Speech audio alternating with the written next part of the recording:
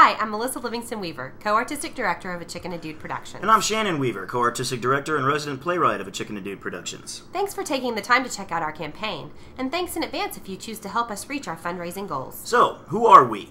A Chick and a Dude hit the ground running at the 2001 Mom Fest with a play by Dr. David Crawford called Barren Fields, and we haven't stopped since.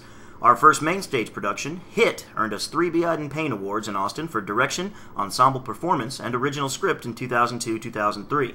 Since then, we've produced original scripts dealing with the meaning of love, a famous letter to Santa Claus, a gender swapping take on the Dracula story, a collection of short plays inspired by bathroom graffiti, a look at Heaven's Waiting Room, a sequel to hit called Brass Ring, a children's piece exploring different winter holidays, and a comedy made up only of film quotes. And although we deal mostly in original work, we occasionally dabble in other cutting edge work as well, such as Neil LaBute's The Shape of Things, Paradise Key by Dean Poynor, and our upcoming play, David Mamet's Glengarry Glen Ross. More on that later. We've had some great response to our work in Austin, too. As I said, Hit won three Iden Payne Awards here, but we also took it to NYC Fringe in 2005, where it won an Overall Excellence Award for cast performance. Our children's show, Winterland, was invited to be performed at the Texas School for the Deaf.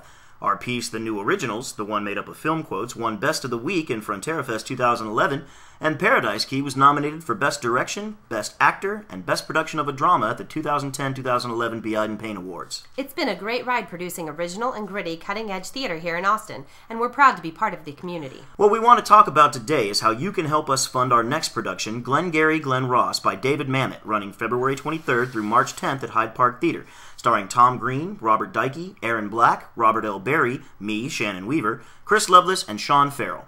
Directed by me, Melissa Livingston Weaver. We're very excited to bring this Pulitzer Prize winning classic to Austin. It's right up our alley, and we couldn't be happier to be producing it. But all shows need funding. And that's where you come in. Please take a few moments, look around our campaign information, check out all the great rewards you can earn depending on the level of your contribution.